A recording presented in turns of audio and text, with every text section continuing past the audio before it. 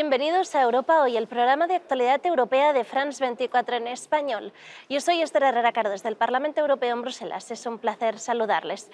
En el programa de hoy hablamos sobre el machismo en el deporte tras el estallido del conocido como caso Rubiales, en que el expresidente de la Federación Española de Fútbol, Luis Rubiales, besó sin su consentimiento a la jugadora de la selección española Jenny Hermoso en la celebración de la Copa del Mundo el pasado agosto. Aunque no es un tema que afecte puramente a la legislación europea, en Europa hoy hemos tratado el machismo y la desigualdad en diferentes vertientes, pero ahora nos queremos centrar en el deporte, porque la Unión Europea sí tiene algo que decir sobre la lucha contra la desigualdad. Lo hablamos con las eurodiputadas Diana Riva del Grupo de los Verdes, Alianza Libre Europea. Bienvenida, Diana. Hola, buenos días. Muchas gracias por estar aquí y con Lina Galvez del Grupo Socialdemócrata. Bienvenida, Lina. Hola.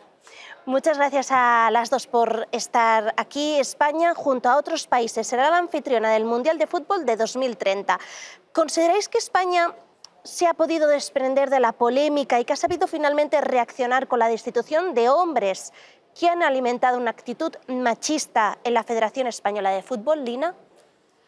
Bueno, yo creo que el, el, caso de la Federación Española, yo creo que lo primero que hay que decir no era un caso aislado y que si ahora le pueden dar el, el, Mundial, a pesar de que sí es verdad que se han hecho cambios, es porque es todo el mundo del fútbol en realidad el que rezuma eh, eh, machismo. Y yo creo que si algo hay que destacar, es verdad que pasó en la, en la selección española, es verdad que pasó en la Federación eh, Española, pero también hay que destacar que la reacción se ha producido primero en España, pero que ha sido algo mundial porque no era algo exclusivo de España o de la Federación Española, sino que era algo que estaban sufriendo o que están siguen sufriendo muchísimas deportistas y sobre todo futbolistas en, en todo el mundo. ¿no? Y, yo creo que, que, el, hecho de que se haya dado en España también demuestra que tenemos unas instituciones, tenemos unas leyes, tenemos un movimiento feminista que ha llevado a una mayor concienciación de la sociedad y para empezar de las propias jugadoras, que son las primeras que han dicho se acabó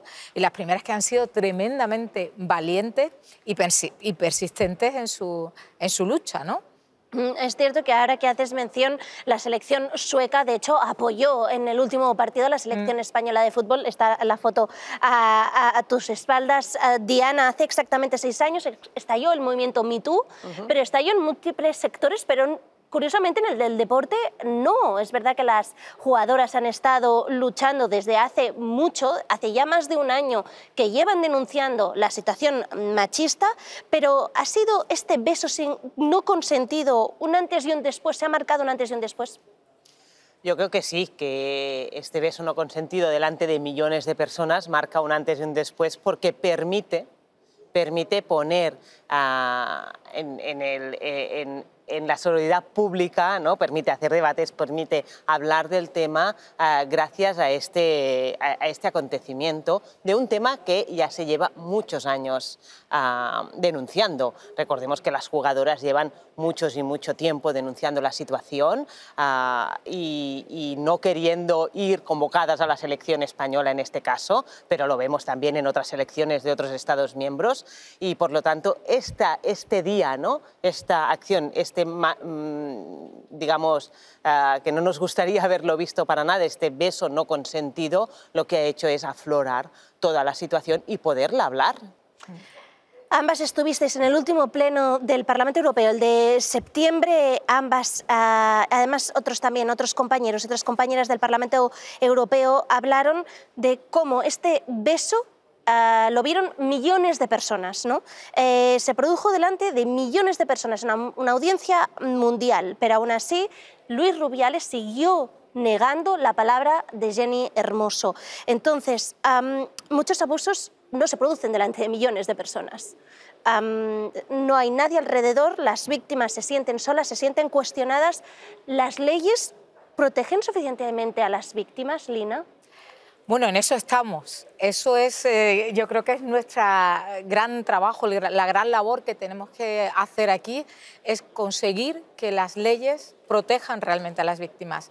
Es cierto que, todavía queda mucho y esperemos que la directiva de violencia de género y de, de, violencia contra las mujeres progrese eh, adecuadamente ahora en trílogos eh, que es donde, donde se encuentra. Pero yo creo que se han hecho eh, grandísimos avances, por ejemplo, en España con la, con la ley del CSI, que tan denostada ha sido para, para muchas cosas, ha sido una ley que siguiendo el Convenio de Estambul pone el consentimiento en el, en, el, en el, centro y eso ya de por sí supone una mayor protección de las víctimas. Pero nos hace falta avanzar muchísimo, porque el, el problema que hemos visto, tú lo decías, ¿no? Es que Rubiales no, posiblemente es que, ni se da cuenta todavía que ha hecho mal, ¿no?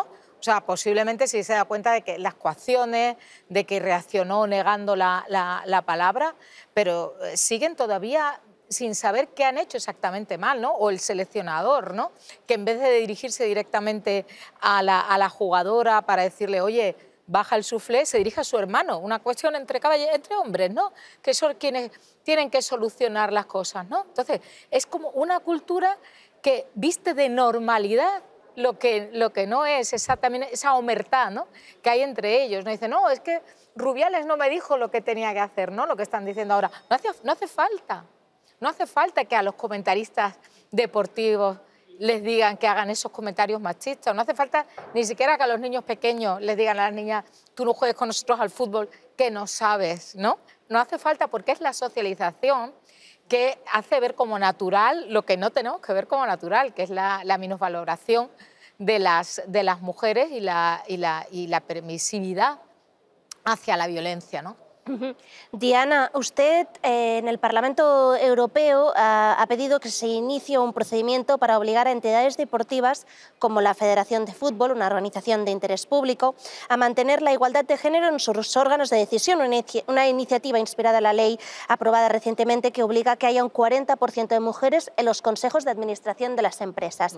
¿En qué consiste esta iniciativa y si se puede hacer?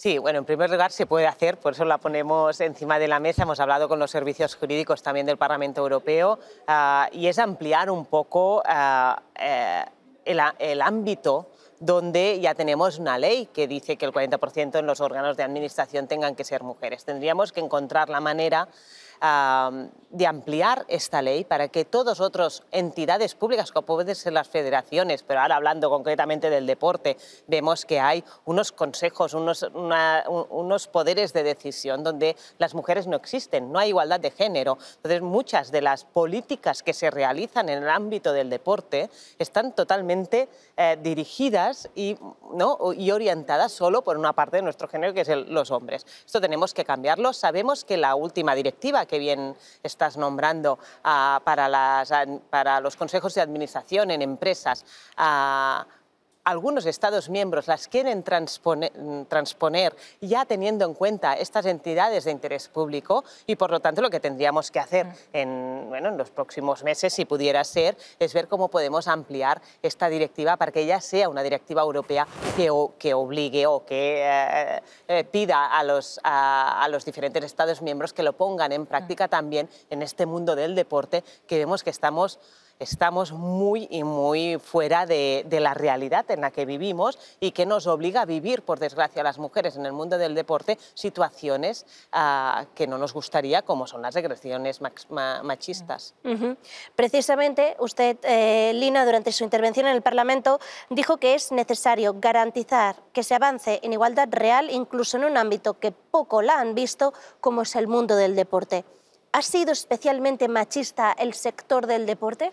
Sí, el sector del deporte y muy especialmente el fútbol. No hay que olvidar nunca que el fútbol es la columna vertebral de la socialización de los niños, mientras que la socialización de las niñas primero nos tienen eh, jugando con unas eh, así todos muy recatadas y luego cuando pasamos a la, adolescencia de repente nos sexualizan y, digamos no, nos cambian, nos hacen un poco esquizofrénicas, en, la, digamos no hay una continuidad en cierta socialización, la de los niños no cambia. Los niños se socializan desde pequeños en el fútbol y se van a la tumba muchos de ellos con la bufanda de su O sea, que es un elemento central de la masculinidad tóxica y dominante.